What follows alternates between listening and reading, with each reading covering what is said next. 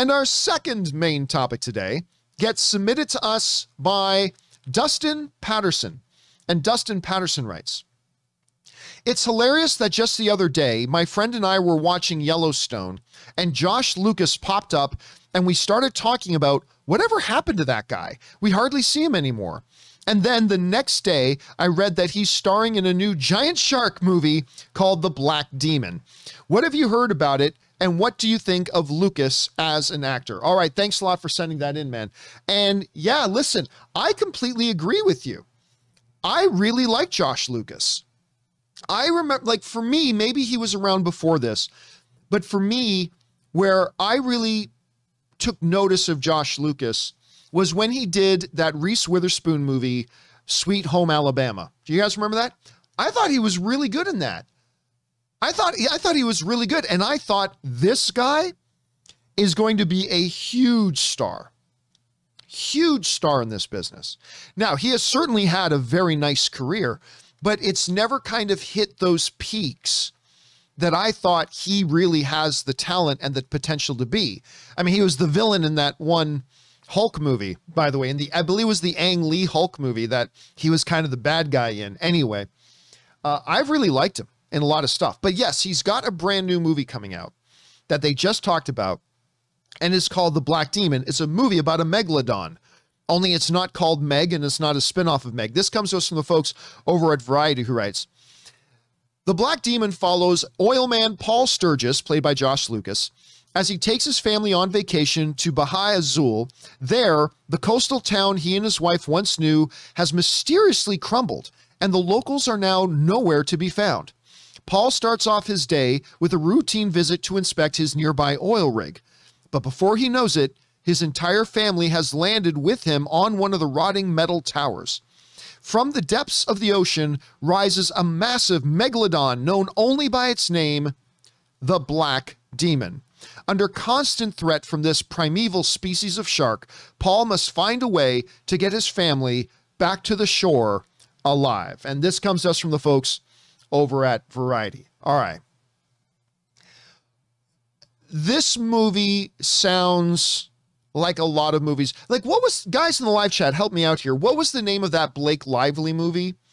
Where wasn't she, like, she was on a raft or not a raft like a some kind of floating dock or a buoy or something and she had to try to get back to the thing but there was a shark that was going to get the reef thank you sam kodos was the first one to get it in there or was it the shallows oh no was it the shallows or the reef it wasn't the deep that was a different one and it wasn't 47 meters dennis but uh, we'll go with the majority the majority are saying the shallows okay so it sounds a little bit like shallows. Oh no, we're stranded on this thing. We got to get there, but there's sharks between us and there.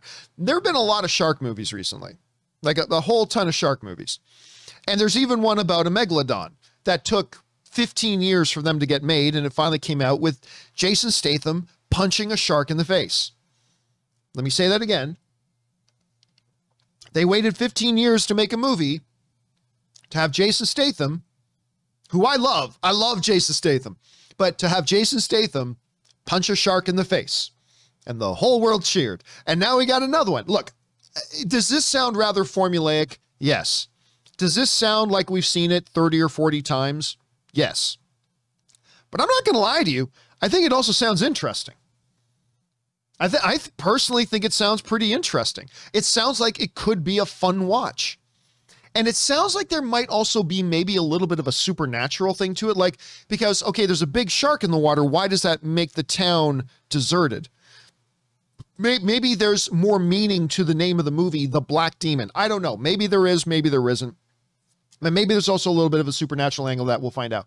But yes, let me let me talk again for a second about Josh Lucas. So I first of all, I was thrilled, like you were, to see that he popped up in Yellowstone. I really like seeing him pop up in Yellowstone. I've been loving that show, by the way. It's playing the younger version of uh, John Dutton. So I think that was really good to see him in there. But he's done other things too. Like he was in Ford v Ferrari recently. It was really good seeing him in that. Um, he did that Glory Road movie, which was really good. Um, what else has he done over the years? I'm bringing up his IMDb right now just so I can take a look. Oh, fair. He was in that The Firm TV series where he was in J. Edgar. Uh, so I forgot about that. But yeah, it's it's just a it's an interesting situation with Josh Lucas. Again, he's just that guy that I think has the talent and the chops and the charisma to be a much higher tiered actor in this business than he is. But that's just kind of my opinion. And yes, while it does sound like it's a little cliche-ish, I am looking forward to seeing the Black Demon, but it'll probably be terrible, but I think it might be a little bit of fun. Anyway, guys, question is for you. What do you think about the sounds of the Black Demon? Does it sound good to you or excited about it? Does it just sound like just another shark movie? I don't blame you if you do. Whatever you guys are thinking, jump down into the comment section below and leave us your thoughts.